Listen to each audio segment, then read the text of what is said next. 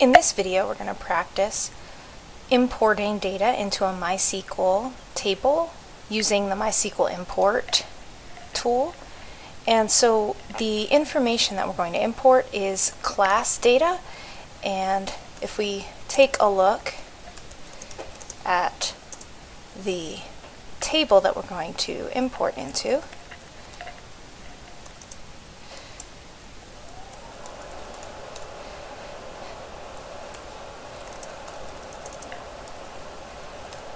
we see that we need a class ID, a class name, an academic year, and teacher ID. And if we show what's already in the table, we see that we already inserted the Language Arts 1 class, so we just have to insert the rest. And the teacher ID is a foreign key, and so we need to use the teacher IDs that are already in the database.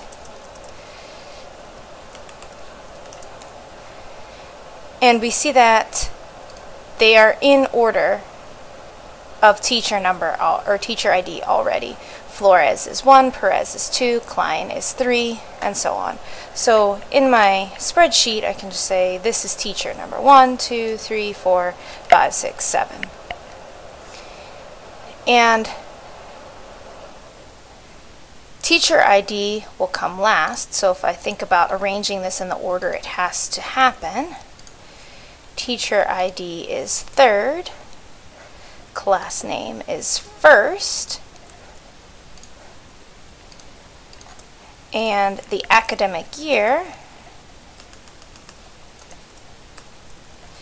is 2017-2018. And now I just need to do this for all of the classes. So these classes are 1 through 7. These classes are 1 through 7.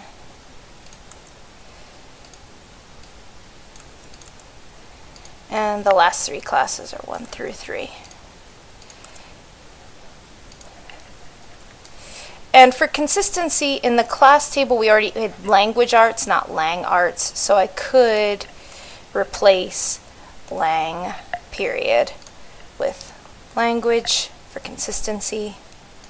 And probably replace the abbreviation for social as well.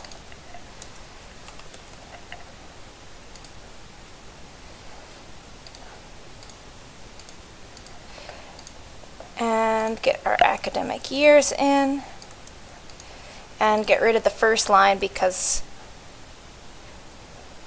we don't need it. And Language Arts 1 is already in there. So these are the classes that need to be added that don't already exist in the database.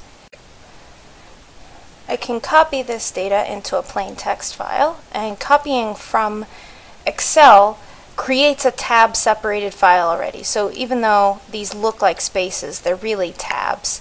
And that's exactly how we want to import it using mysqlimport.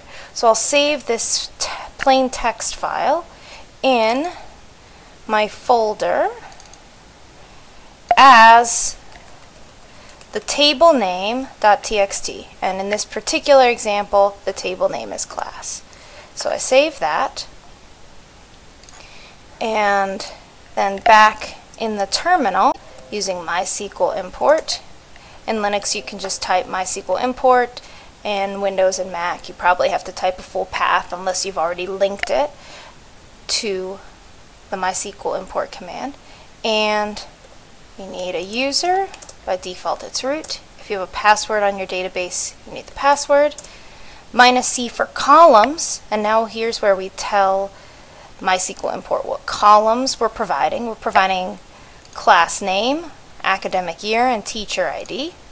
So class year, or class name, academic year, teacher ID. Make sure you are copying capital and lowercase exactly. Then we tell it what database.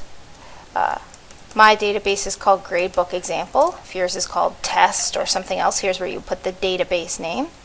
And then we put the path to the file that we're importing. And so if I had already navigated to the folder that contained class.txt, I would be able to just type class.txt here. Instead, I'm going to drag and drop so that it will automatically fill in the full path for me. Here we go.